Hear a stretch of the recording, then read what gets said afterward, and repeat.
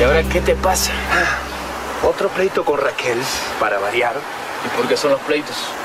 Ya te contaré.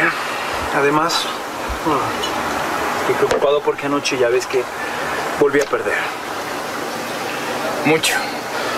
Bastante. Tienes que dejar el juego, Roberto. Es un vicio muy malo y te va a llevar a la ruina. En la ruina ya estoy. Pero por suerte tengo un cuñado muy rico. Y va a llegar el momento en que él se canse. ¿Has pensado en la propuesta de Bruno? Sí, lo he pensado. ¿Y?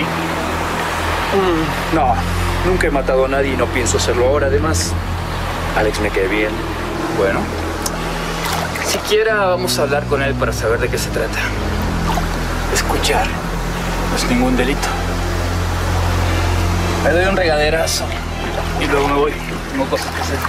Pensé que comeríamos juntos. Mejor cenamos.